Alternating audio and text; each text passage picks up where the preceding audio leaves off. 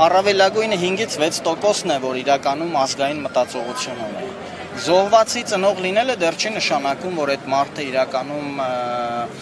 ազգային մտածողություն ունի, պետական մտածողություն ունի, հայրենասիրություն ունի։ Այստեղ նստած են մարդիկ, որոնք օրեր շարունակ կամ 2 տարի շարունակ կռիվ են տալիս։ Մենք ունենք ցավոք սրտի մոտ 5000 զոհ, 5000 զոհից այստեղ առավելագույնը, որ անընդհատ պայքարի մեջ է 20-ից 30, լավ 50 հոգին է, լավ 100 հոգին է։ Դա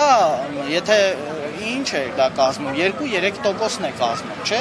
Այսինքն սրանք այն մարդիկ են, որոնք իրական իրական հայրենասեր մարդիկ են, իրական պետականությանն ու հայրենիքին տեր կանգնող մարդիկ են։ Ես գիտեմ մարդկան զոհվածների ծնողներից, ովքեր լիֆտի փող չեն տալիս, ասում են ես զոհվածի ծնող եմ, ովքեր ախտոտում ու կեղտոտում են շրջակայքու, ամեն տեսակի այդպես օգտվում են այդ արտոնությունից։ Ասածս այն է, որ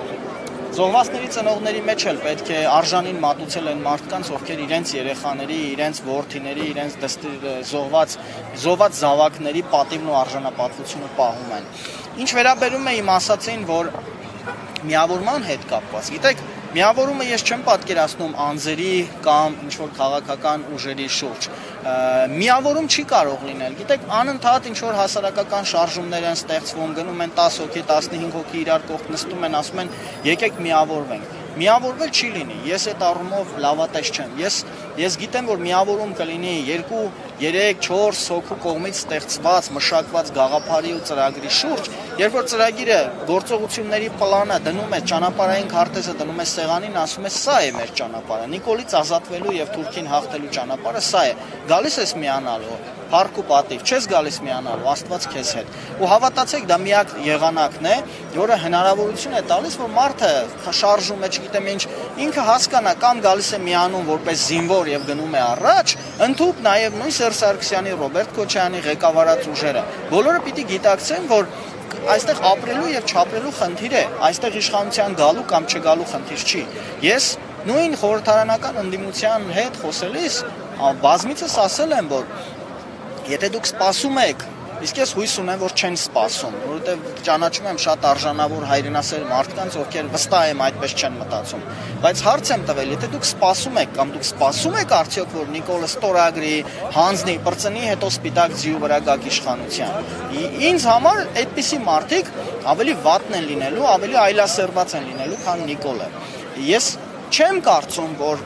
դրան են սպասում։ Պարզապես ես կարծում եմ, որ իրենց այս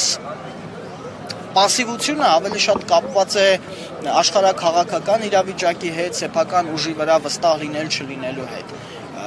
Ես ինքս բավական շատ գաղափարական հակասություններ ունեմ հանրապետական կուսակցության հետ, որովհետև միշտ ասել եմ եւ ասում եմ, ասելու եմ, որ Նիկոլի գալու հիմնական մեղավորը հանրապետական կուսակցության թույլ տրված, թույլ տված քաղաքական եւ տնտեսական սխալներն էին, օլիգարխներին բերելներ եւ այլն, բայց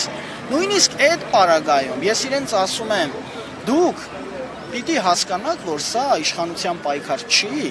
եւ պիտի մի կողմ թողնեք ձեր իշխանական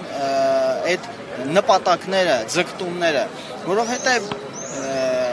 ավերակների վրա ոչ ոք կառավարել չի կարող։ Նիկոլից հետո, երբ Հայաստանի Հանրապետությունը լինի ավերակների կույտ եւ Արցախ չլինի, ում է պետք ով կլինի ղեկավար երկրի Ռոբերտ Քոչարյան, Նիկոլ Փաշինյան, Սերժ Սարգսյան, թե չգիտեմ, որևէ մեկը, որտեղ չի լինելու Հայաստան։ Եթե պիտի ավերակների վրա լինի։ Հետևաբար կրկնում եմ, գաղափարը եւ ծրագիրը պիտի համախմբի ուժերին։ Եվ դա բացառապես այն դեպքում, եթե բոլորը իրենց մեջ ուժ գտնեն, իրենց էգոն, իրենց եսը դնել մի կողմ։ Ես օրինակ բազմիցս ասել եմ, այն մարդիկ, ովքեր ինձ հավատում են, իմ հետևից գալիս են եւ ես անընդհատ պայքարի ճանապարհ եմ տանում, ես միշտ ասում եմ, ես երբեք չեմ ձգտելու եւ երբեք հայտ չեմ ներկայացնելու որևէ քաղաքական բարձր պաշտոնի, որովհետեւ ոչ թե որ վախենում եմ, այլ նրա համար, որ Հայաստանում պիտի ձևավորվի իրական խորքային պետություն, իրական ազգային ժողովրդական զսպիչ համակարգ, երբ որ որևէ մեկը չգա վեր ընկնի այնտեղ, այնտեղ որ են սատանան է վեր ընկած